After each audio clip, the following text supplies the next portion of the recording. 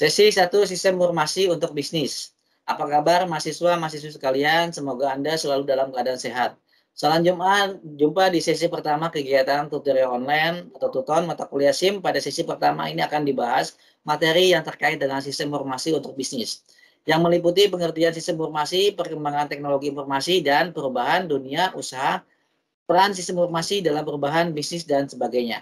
Setelah mengikuti tonton sesi ini, secara khusus diharapkan mahasiswa dan mahasiswa akan mampu yang pertama menjelaskan konsep dasar sistem informasi dan teknologi informasi, yang kedua menjelaskan peran sistem dan teknologi informasi dalam dunia bisnis.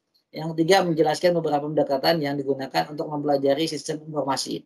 Yang keempat menjelaskan penerapan sistem informasi dalam dunia bisnis modern.